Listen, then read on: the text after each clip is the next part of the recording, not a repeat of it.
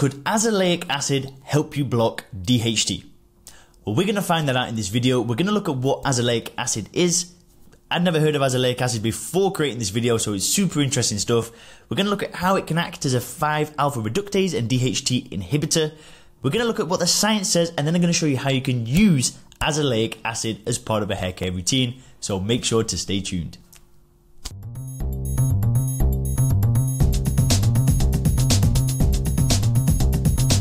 Hey guys, Leon here and welcome to the Hairguard YouTube channel.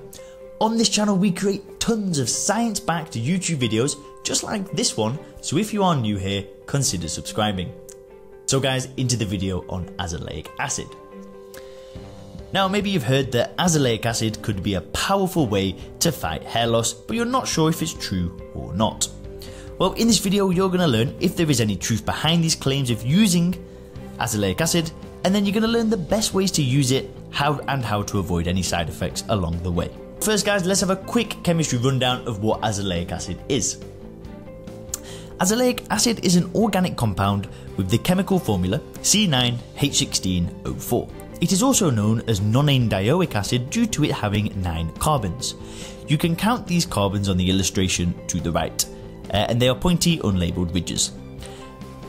As you can see, the last carbon on each end is double bonded to an oxygen, as well as a single bonded to a hydroxyl, or OH. This gives it two carboxyl functional groups, minus COOH. This makes it part of the crystalline dicarboxylic acid family.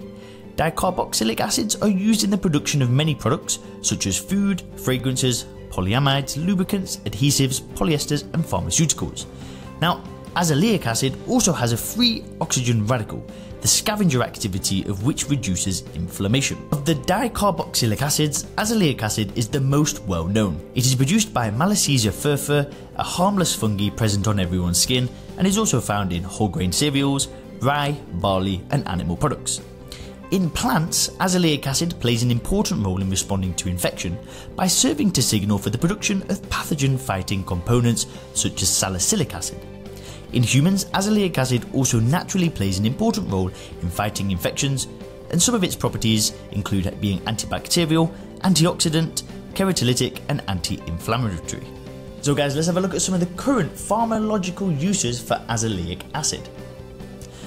According to the Food and Drug Administration's Pharmacological Class Index, azelaic acid is attributed to the following physiological effects decreased protein synthesis, decreased sebaceous gland activity. Since this molecule has many properties that work to reduce skin damage, several companies have created azelaic acid topical creams to treat mild to moderate inflammatory acne and rosacea.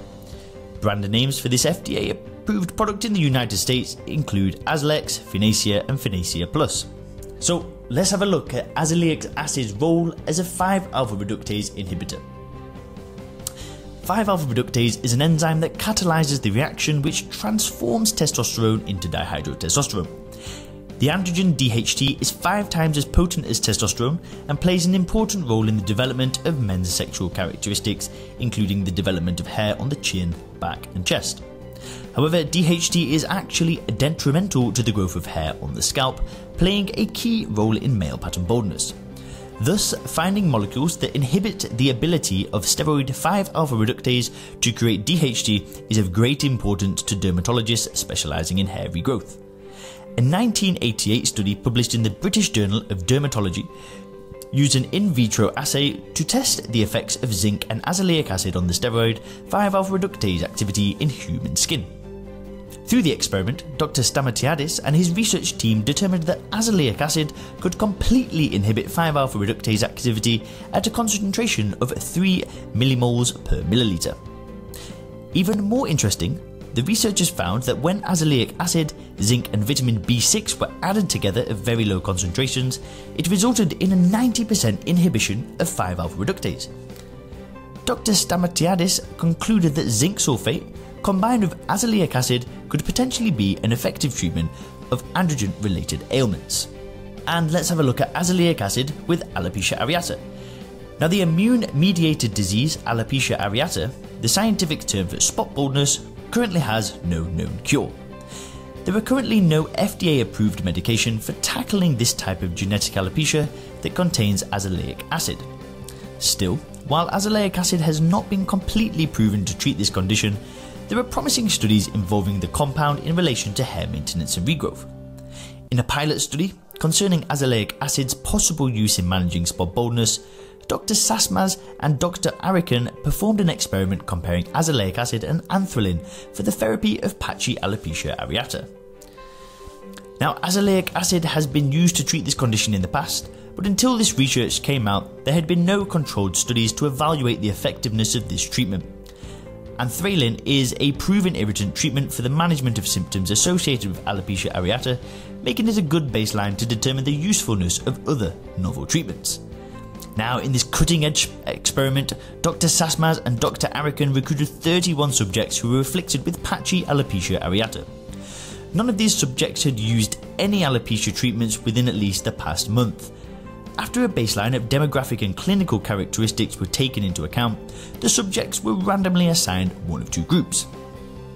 Both groups were similar in terms of demographic and clinical characteristics, which could have potentially tainted baseline treatment response and thus the study results. The first group was told to apply 20% azelaic acid cream to the affected portion of scalp daily for 12 consecutive weeks. The second group was told to apply 0.5% anthralin cream to the affected portion of scalp daily for 12 consecutive weeks.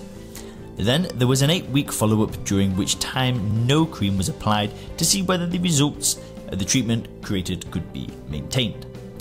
All study participants completed the experiment as instructed and no serious adverse events occurred during this time. At the end of the cumulative 20 week period, Dr. Sasmaz and Dr. Arican examined the efficiency of this novel azelaic acid treatment by conducting a clinical examination on the subject participants.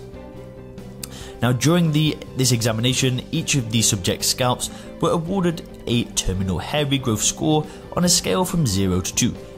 In this scale, a 0 indicated an inadequate response, a 1 indicated a partial response, and a 3 indicated a complete response.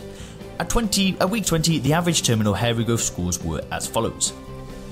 The azelaic acid group had 27 and the anthralin group had 37. This shows that both subjects who applied 20% azelaic acid and subjects who applied 0.5% anthralin finished the study with similarly positive results.